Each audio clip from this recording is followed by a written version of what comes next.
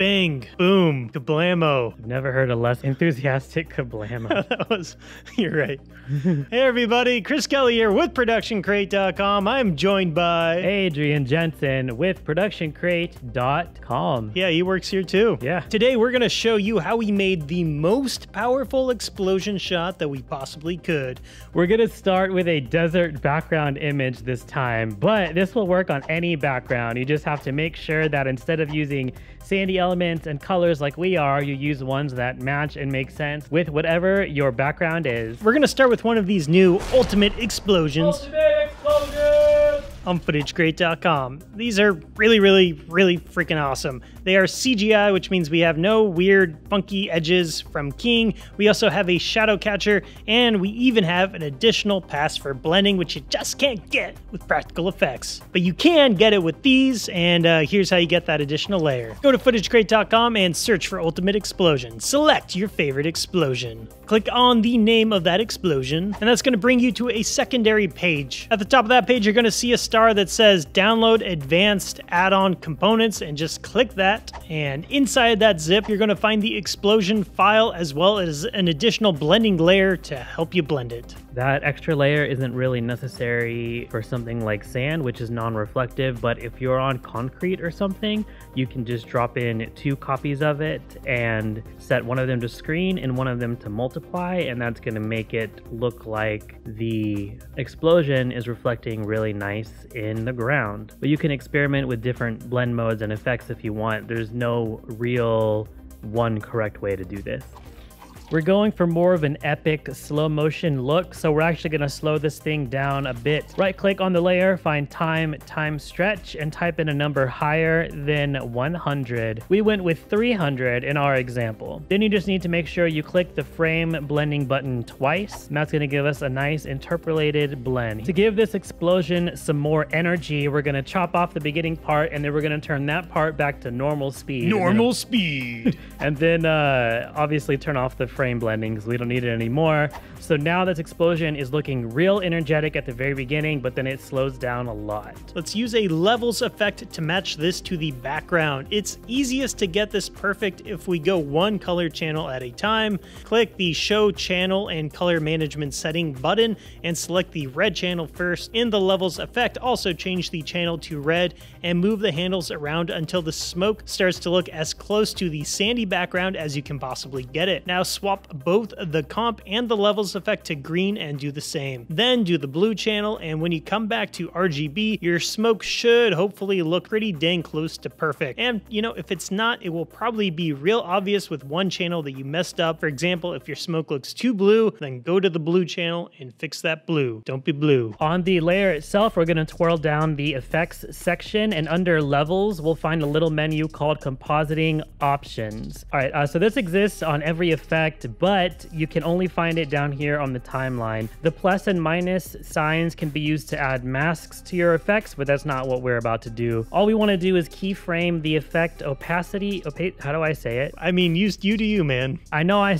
I'm supposed to say it wrong, but I can't even remember. But now everybody anymore, expects you to say opacity. People are now getting mad at me for saying it right. Yeah, you can't win. anyway, we're going to keyframe that so that over time the colors of the smoke change back to the original colors.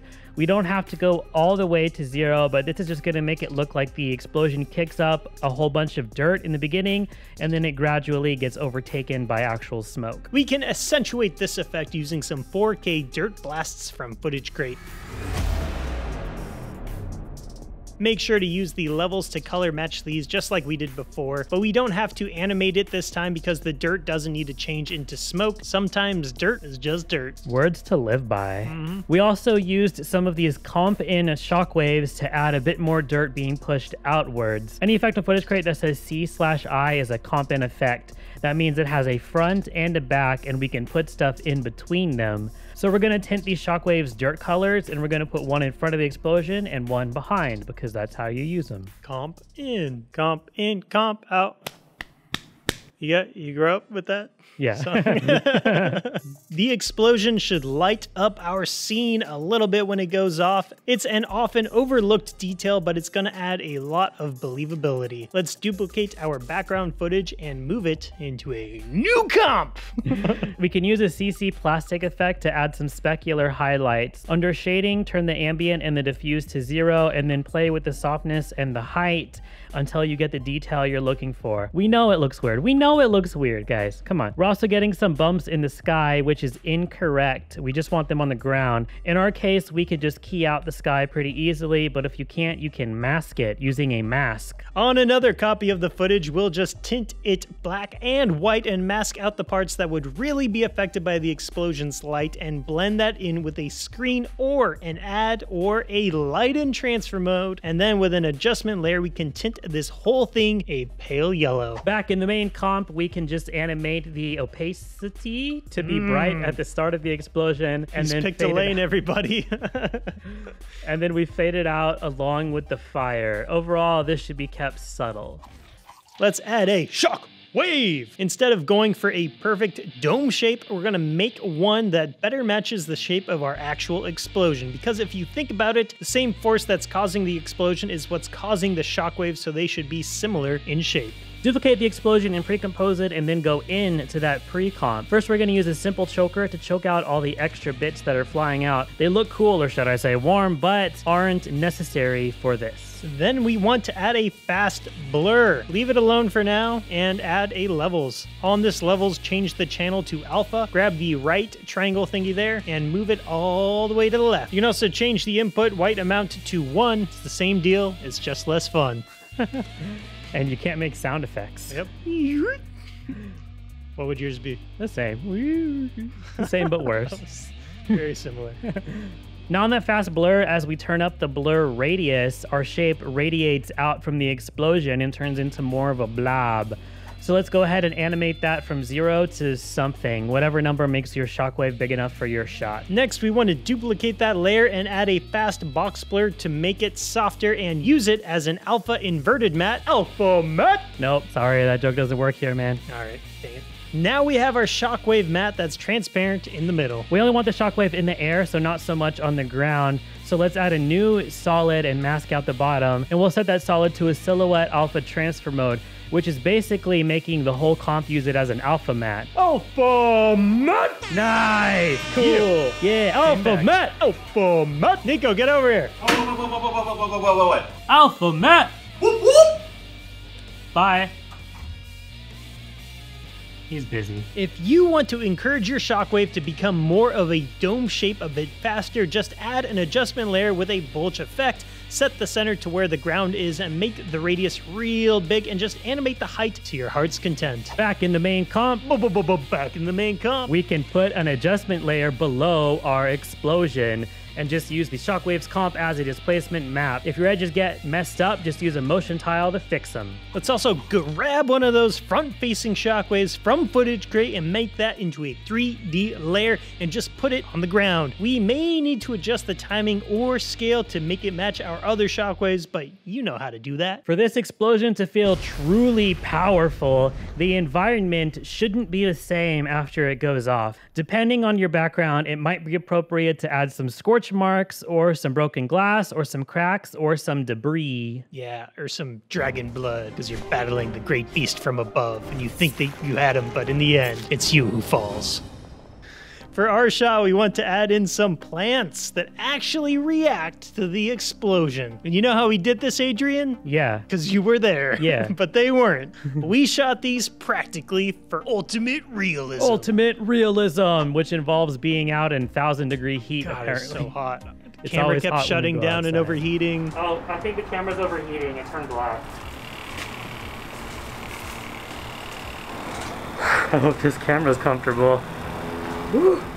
These are up on Footage Crate in the new plant section. Really glad you guys like that plant section, by the way. Mm-hmm. People are enjoying it. I like it too. Any of the desert plants with the word gust in the title are going to work for us. We're gonna make these with Trapcode Particular, so let's set up our particles first. Hey, if you don't have Trapcode Particular, don't even freak out. Adrian made this underwater tutorial where he used a similar technique, but no Trapcode Particular, all After Effects internal, so check that out. I did do that, didn't I? You did. Anyway, grab one of those plants and drag it into a new composition and change the name to Plant Particle. It might be smart to decrease the resolution of the comp, and it doesn't need to remain 16 by 9 either. We made ours a tall rectangle. We also need to add way more frames so that we can make this comp significantly longer than our main comp with the explosion in it. Go ahead and turn on the title action safe overlays and move the plant so its trunk is right in the middle of the comp and make sure it is scaled in such a way that it does not break frame. Next, we want to offset it by three seconds, and this is going to make sense later. Just move it to start at the three second mark and then enable time remapping and drag the ends to fill out the entire timeline. Yeah, so I mean, like, right there, you got a little tree. It's grown from the middle of the comp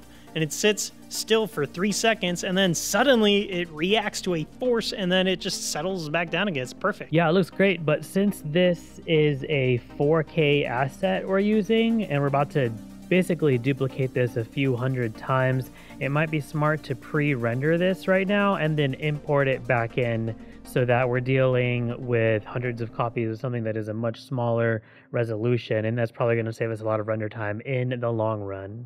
Let's make a new Pine Fresh comp that matches the that matches the main comp exactly, except for we want it to be at least three seconds longer. This is going to be our particular comp. Bring the plant particle into it and shut off its visibility. Now we need to set up our emitter, make a new solid in a square shape, and go ahead and pre-comp it. Leave the attributes in this comp and open up a new composition. Use masks to make this into a semicircular shape that looks like this. And then back in the main comp, we want to make that a 3D layer and then animate it in such a way that it matches the speed of our shockwave. Make a new solid with particular applied and set the emitter type to layer and under layer emitter select the emitter we just made. We also want to change the emitter size Z to 0 and the velocity to 0 and the particles per second to whatever you want. You may need to animate this from 0 up to a higher number and back down again to get more even coverage overall, but now we have an emitter covering our ground in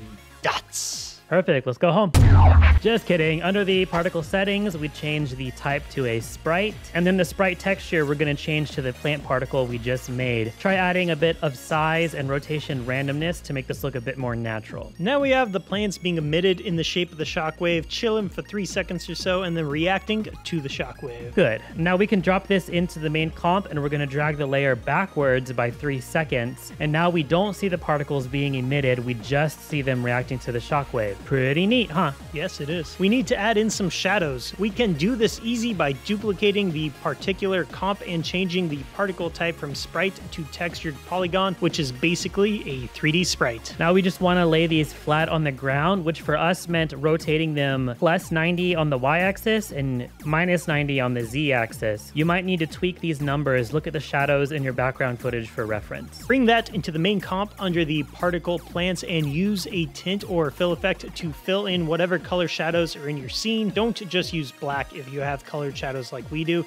If your ground is bumpy, you can also use your footage as a displacement map to add a tiny bit of bump to these shadows and blur the layer a little bit if it's an overcast day. Ours is sunny, so we're going to keep those shadows nice and sharp. This looks a bit fake because all of our plants are the same, but it doesn't have to be this way. Particular allows you to have eight systems interacting with each other on a single layer. So let's do it. We can duplicate our plant particle comp and then just alt drag in a new plant clip to replace it so that we don't have to redo all that work. And then we can make up to eight of these. Honestly, we only did five. And we can bring those all into the particular composition. In the particular effect, click the button at the top to open up the designer window. Since we're using custom emitters and particles, this is going to be mostly useless to us, but we can click the arrow next to master system and select duplicate system, making one for each of our particles. Click apply and close the window. Now at the top of the particular effect, we can see all of our active systems. For each one, we'll want to change the particle texture as well as the random seed on the emitter. We can change the particles per second as well so we don't have such a uniform distribution of the plants. In our case, since it's a desert, we added a lot of dead plants and only a few green ones friends. Now that we have a bunch of plants in front of our explosion, getting some to go behind the explosion is going to be super easy. Just make a duplicate of the particular comp and in that one flip the emitter around on its z-axis 180 degrees. Easy as that. We decided to throw some birds into our background as well. There's a clip on Footage Crate called 4K Pigeon Flock Spooked number one.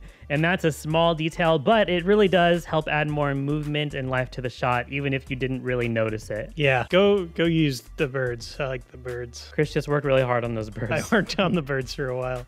For a final touch, we want to add a jolt of camera shake, which we can do with the Crate's camera shake script.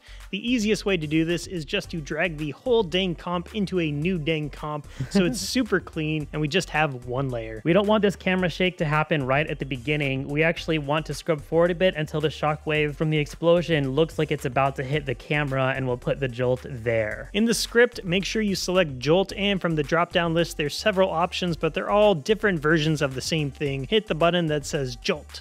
If you got the timing a bit wrong, you can grab the keyframes and slide them around. That's why I like the script. Super easy to use. Lastly, we can put a little lens flare at the moment the explosion occurs. We used Knoll Light Factory for this, but you could also use optical flares or use the basic built-in one if that's all you have. But if you use that basic built-in one, don't use the default because everyone's going to recognize that as a Photoshop yeah. flare, man. True. Don't forget that you can use these techniques to put epic explosions into any environment you want.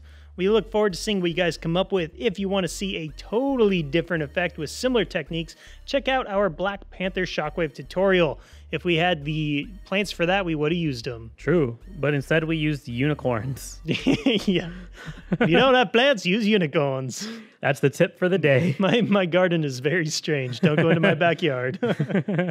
That's it for today. Make it awesome. Make it awesome.